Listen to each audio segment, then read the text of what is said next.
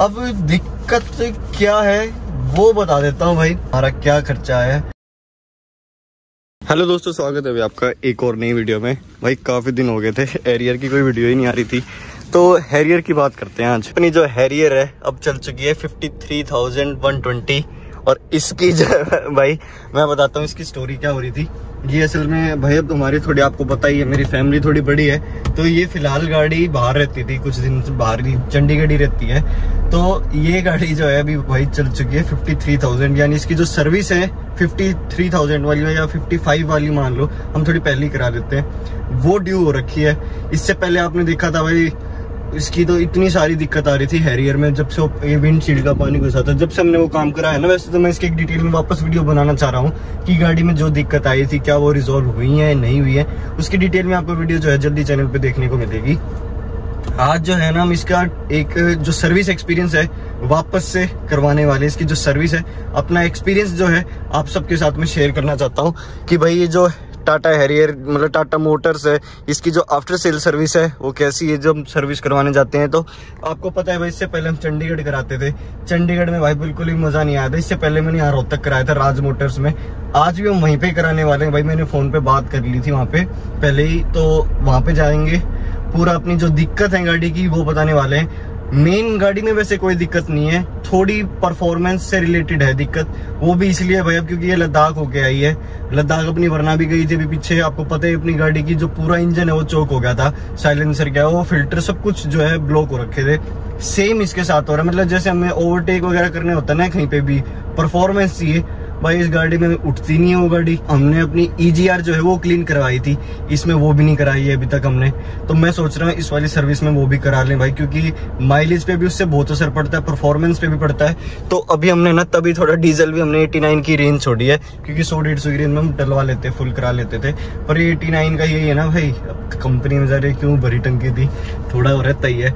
और भाई, वैसे परफॉर्मेंस जो है ना, उससे पहले जो मैंने गाड़ी करवाई थी, हमारा बाईस का कुछ खर्चा आया था, उस पर कंपनी में जिसमें वायरिंग का भी कुछ चेंज हुआ था क्योंकि कई जो मोड वगैरह हैं वो भी नहीं लग रहे थे अब तो लग रही है देखो। इकोनॉमी ड्राइव मोड एक्टिवेटेड ये आ रही है और ये हमने इसका जो है पीछे सिल्वर बॉक्स आया था वो भी चेंज कराया था।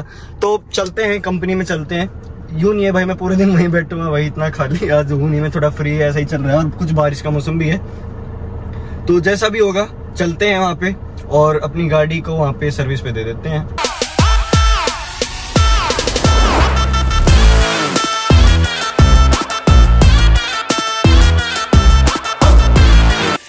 Moments later. तो भाई हमने जो है गाड़ी दे दी है। मेन ये वैसे चेकअप ही है। पैसा पेन ड्राइव ज़रूरी कीमती सामान निकाल लिया हाँ। वो सब निकाल लिया भाई हमने देख लो। वो सब निकाल दिया माइक्रो फाइबर वगैरह सब कुछ पेन ड्राइव कुछ है नहीं। तो इसमें जो है मेन हमारी जैसे लद्दाख से आई थी तो सारा चेकअप वगैरह होगा। सर्विस सिक्सटी पे ही होगी हाँ। जैसे इसकी भाई टाटा में अठावन के बाद कभी करवा लियो क्योंकि हम्म। उस टाइम पंतालीस होने चाहिए थे ना हम्म, हम्म। तो आपने पहले करवा रखी। हमने फोर्टी थ्री पे कराई थी हाँ, तो साठ होनी चाहिए तो पहले करवाई आप उनसठ पर ठीक है? पर अब यही है परफॉर्मेंस की थोड़ी दिक्कत थी तो अभी ईजीआर अब तक नहीं हुई है क्लीन तो वो हो जाएगी। और इंजन ऑयल वगैरह जो है सब कुछ हो जाएगा। एस्टिमेट जो है वो अभी वीडियो के लास्ट में बताऊँगा मैं क्या कुछ है।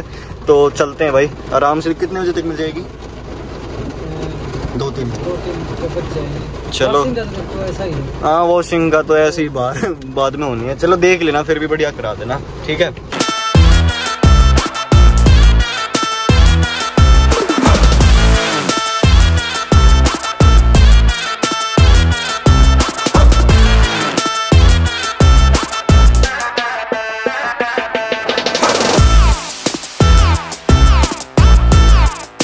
थोड़ा इसको चला के दिखाता हूँ मैं कैसा कुछ मज़ा आ रहा है आजकल मेरे को गाड़ी चलाने में।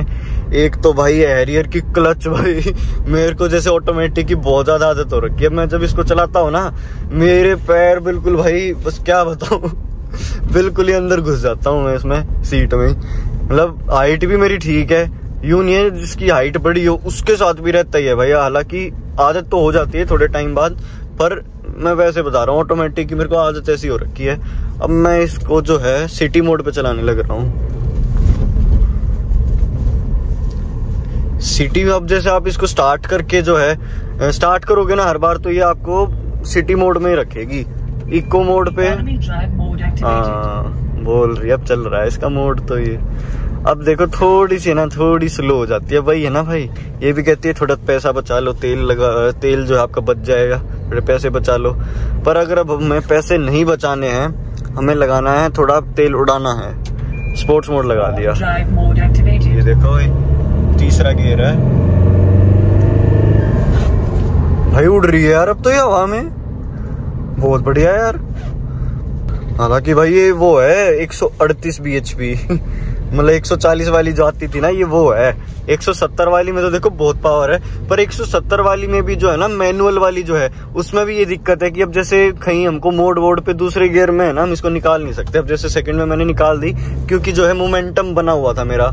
पर अगर वैसे निकाली हो ना, भाई ये नहीं उठेगी। और भाई पेट्रोल जो इसका डीजल है ना भाई, वो भी 140 के आसपास इसकी इंडिकेशन आ जाती है। जैसे अब भाई घर में दूसरी भी गाड़ियाँ हैं, वरना होगी फॉर्चुनर होगी, उसमें तो भाई 50 या 60 के आसपास आती है इंडिकेशन इसमें 140 पे जाती है कि भाई अपना डीजल डलवा लो। मतलब जेब पहले ही खाली करवाने की वार्निंग दे देती है ठीक है?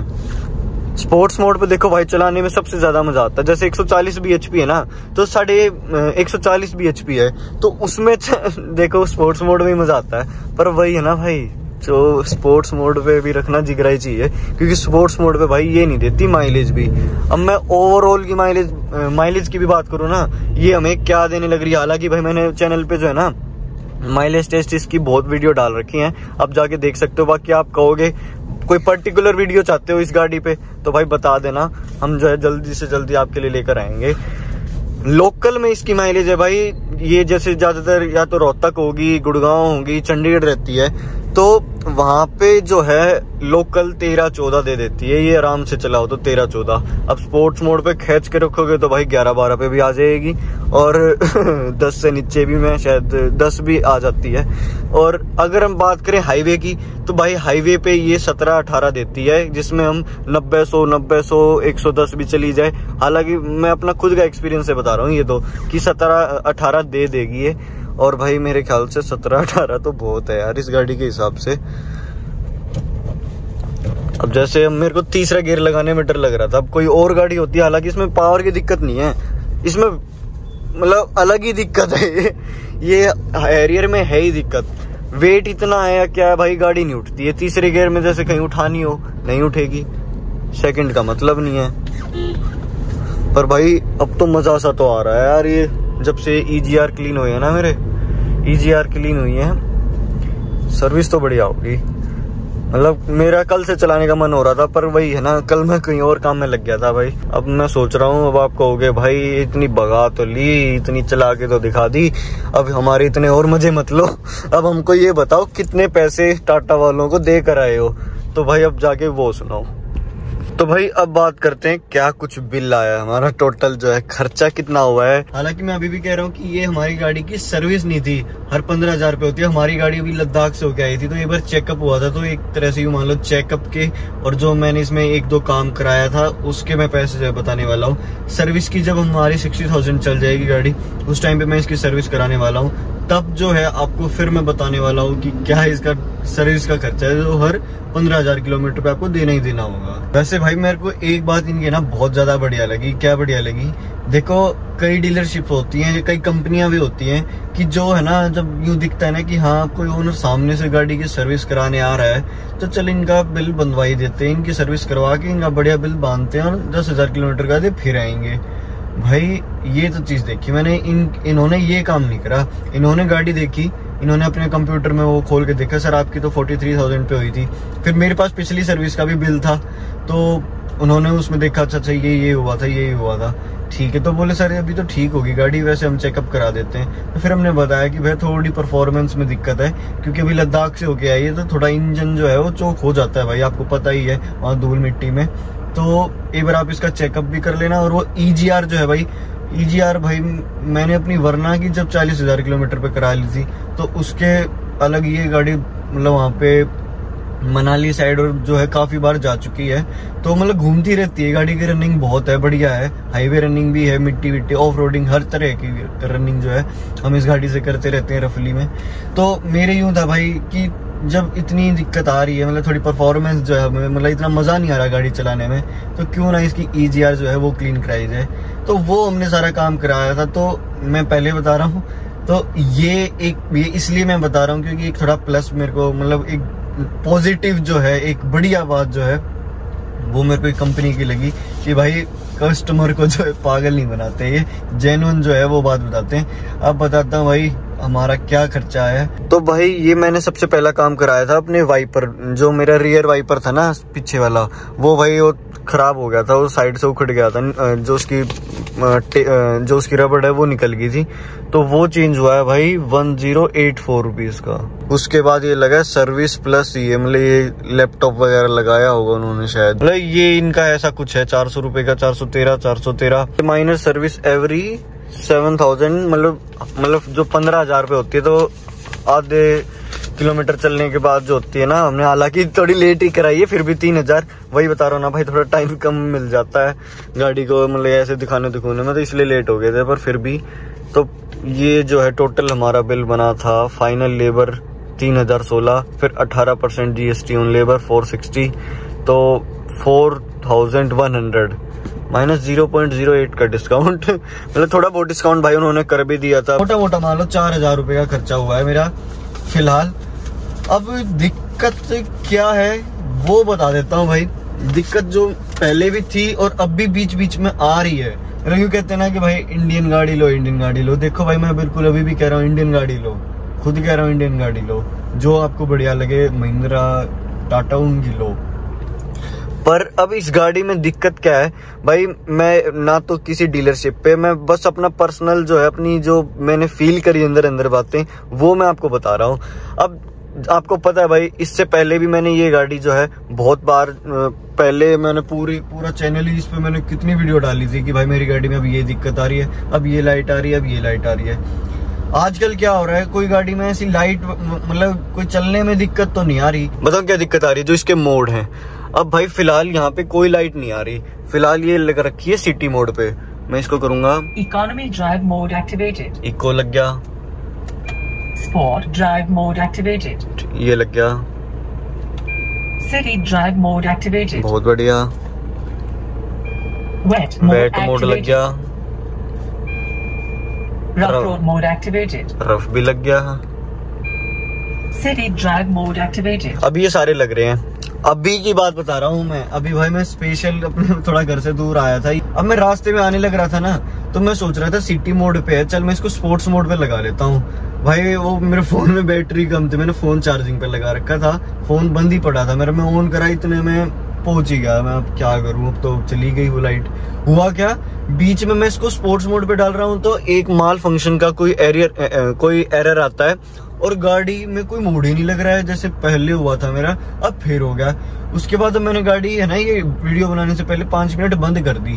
अब देख लो मोड लग रहे हैं।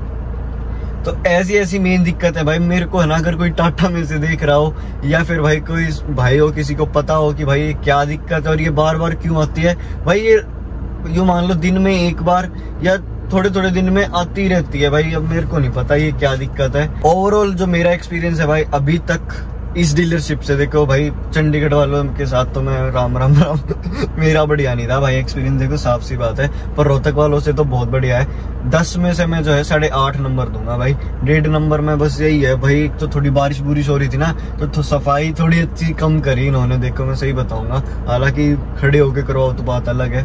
पर वही है ना भाई बारिश के मौसम में मैं कुछ कहता भी नहीं मैं चला बाहर आके फिर गंदी होनी है। तो जो है वीडियो बढ़िया लगी होगी। बढ़िया लगी तो इस वीडियो को लाइक कर देना। और कमेंट करके ज़रूर बताना वो माल फ़ंक्शन वाला क्या कुछ चक्कर चलता है भाई। अगर कोई हैरियर ओनर हो या किसी को इसकी नॉलेज हो तो भाई मेरे को तो देखो पर्टिकुलर इस, उसका पता ही नहीं है, देखो। मेरे को समझ में नहीं आया। मैंने तभी मैंने वीडियो बनाई। मैं भाई अपना एक्सपीरियंस है ना, आप कहते भी रहते हो, भाई हैरियर की वीडियो लेकर आओ हैरियर की लेकर आओ।